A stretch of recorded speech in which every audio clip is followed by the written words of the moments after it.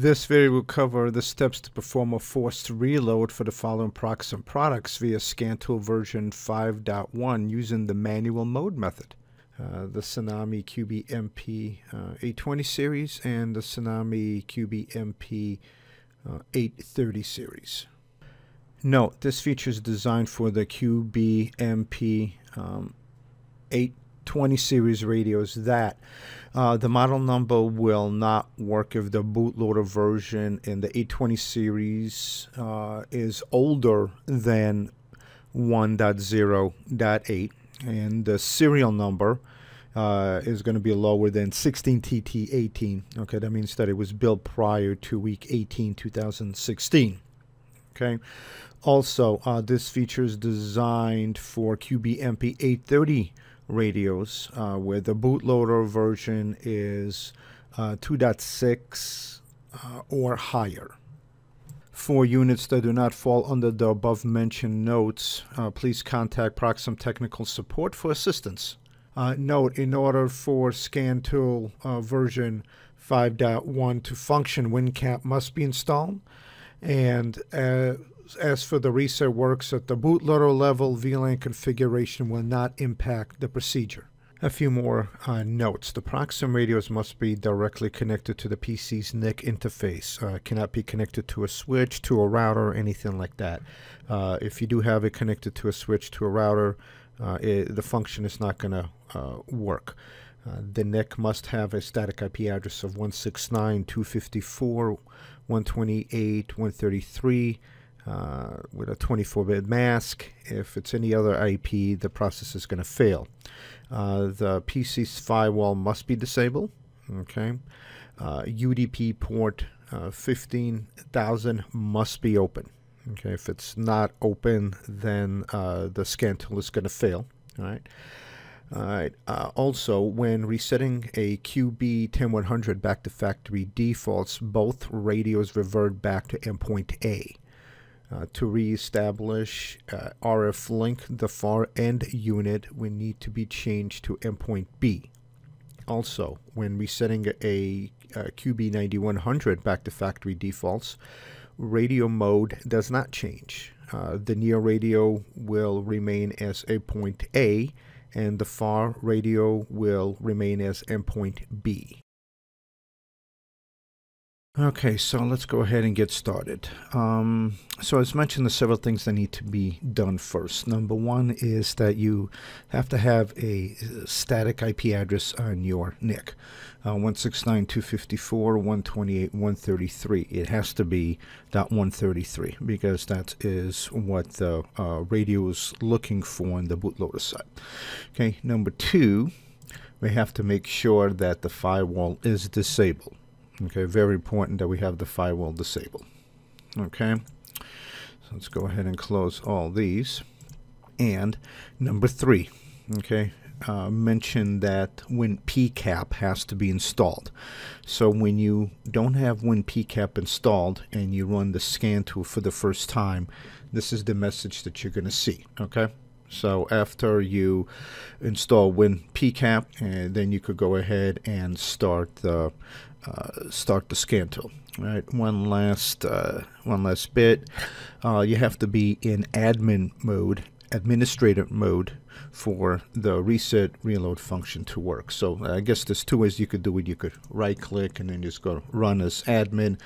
Um, what I do is I just go to down to properties, go down to compatibility, and uh, just go ahead and do run this program as administrator applying. Okay, so that way you don't have to um, go through that uh, right click all the time. So now when you press on it, you're going to get this.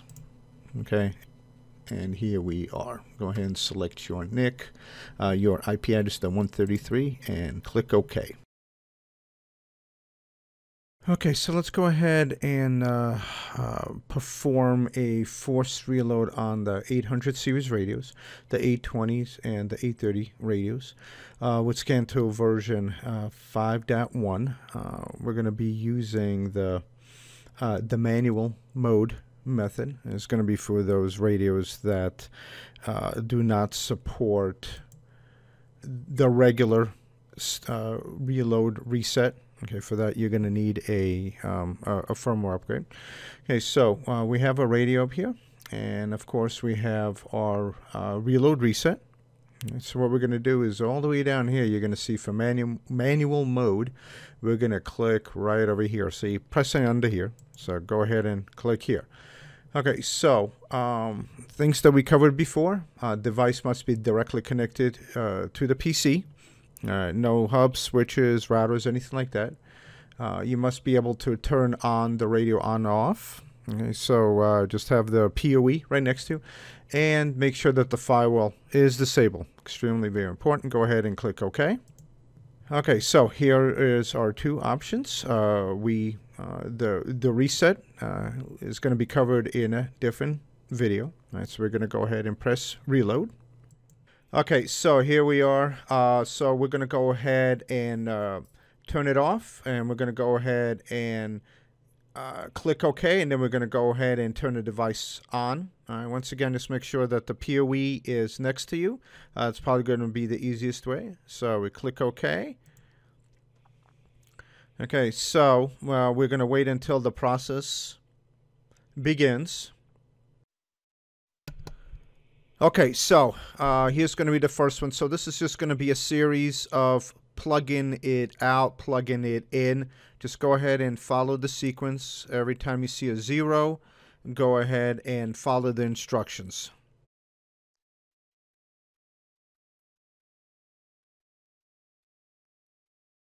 Okay, so at this point then at the bottom over here, um, if there's any issues, um, we would see down here. Okay, so if it failed, it would say fail.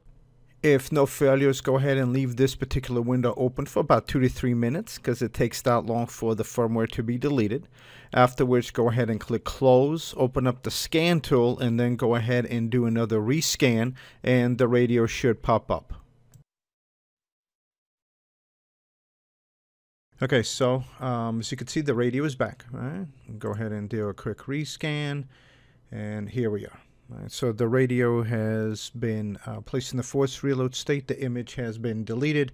Uh, one of the quickest ways that you could tell, you could see the system name. Um, there is no dashes here. So uh, when there is an image, it would say system dash name. Uh, what we're going to do now is we're going to go ahead and uh, upload the firmware. We're going to go ahead and click change. Okay, and we're going to go ahead and enter all this information. Right, uh, here's the uh, IP address of the radio. That's just the one we're going to give it for now. Uh, the subnet mask here is our gateway. Um, I make the gateway the same as uh, your TFTP server slash PC. So in this case, it's going to be dot 133. Here's the image. Okay, so uh, the easiest way is just go ahead, uh, go to where your image is. Right here, just right click, go to properties, and just copy this right here and go ahead and paste it. And the default is public. And after you're done, just go ahead and click OK. For right now, what we'll do is we're going to go to the TFTP server. So it's going to reboot, right? And what we're going to do is we're going to wait until we see the uh, the start of the firmware upload, and then it's it's pretty quick and then it's going to go ahead and reboot. Okay, so said it happens pretty quick. Here's the uh, here's the firmware, and it was um, the transfer was completed. So now the only thing we really need to do is uh, wait until the radio uh, reboots, and that could take up to a minute, minute and a half or so. Okay, so uh, I did a rescan a couple of times, and here we are. The radio is back up. Uh, here it is right here. Uh, like I said before earlier, you can see here that the system name has a dash and you can see it's also capital letters. And when we go ahead and click change, you can see that uh, the TFTP IP server and the image name, those are grayed out. Right? So if they were available, that means the radio is in the force reload state. Uh, right now we are okay, so we could go ahead and cancel out. So now you could go ahead and access the radio uh, via this IP address. Then you could go ahead and make the changes, whatever you want. Um, or if you want to change the IP right away, you could go ahead and click change, change the IP address here. Just make sure that your uh, um, the IP address on your Ethernet card matches the IP address that you're going to give the radio. about Proxim Wireless and our solutions, please visit us at proxim.com or follow us at Twitter at Proxim.